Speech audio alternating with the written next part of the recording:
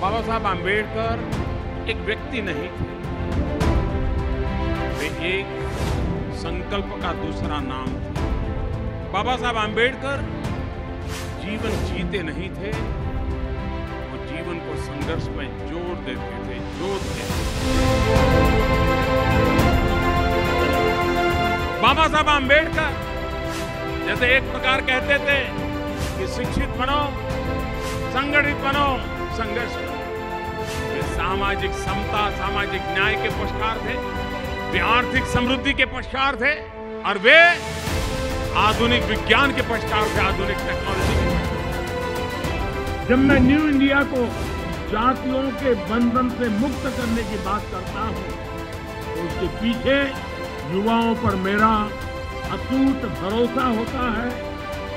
आज की युवा शक्ति बाबा साहेब के सपनों को पूरा करने की ऊर्जा रखती है। साथियों ये हमारी सरकार के लिए सौभाग्य की बात है कि उसे बाबा साहब आम्बेडकर से जुड़े पाँच महत्वपूर्ण स्थान जिसे मैं हमेशा पंच तीर्थ के तौर पर पुण्य भाव से स्मरण करता हूँ और उन्हें विकसित करने का हमें अवसर मिला।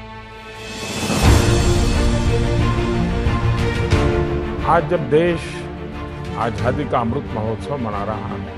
तो उसी कालखंड में बाबा साहब आम्बेडकर की जन्म जयंती का अवसर हमें उस महान यज्ञ से भी जोड़ता है और भविष्य की प्रेरणा से भी जोड़ता है।